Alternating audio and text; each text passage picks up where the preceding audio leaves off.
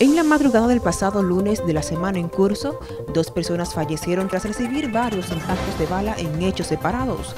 Uno de los fallecidos fue identificado como Hipérides Almanzar Rosario, mejor conocido como Donato.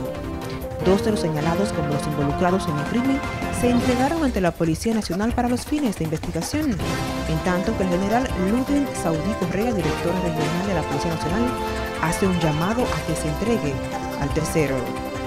Sí, bueno, nosotros eh, en hora de la madrugada del lunes, como usted acaba de manifestar, hay un tal Donato que tiene un, un alto historial delictivo en nuestro archivo policial, que fue ultimado por un conflicto que llevaba con un tal chino. Nosotros eh, tenemos ya todos los datos del chino, eh, tenemos órdenes de arresto, tenemos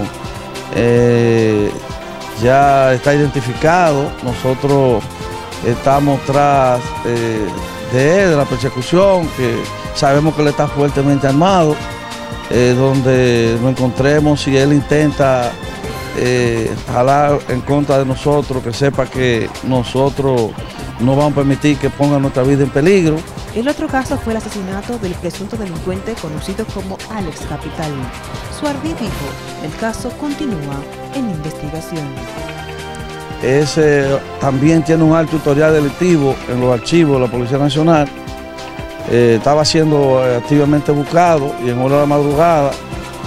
Otro también, eh, eh, amigos que tenían conflicto, también eh, lo, eh, lo hirió y luego falleció.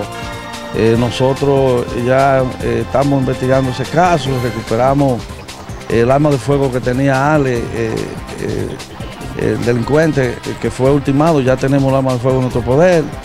Se presentaron tres elementos que nosotros andábamos buscando, tres personas que también tienen un alto historial delictivo y lo estamos investigando a ver la responsabilidad que tiene con el caso. Giovanni Cordero, NTN, su noticiero regional.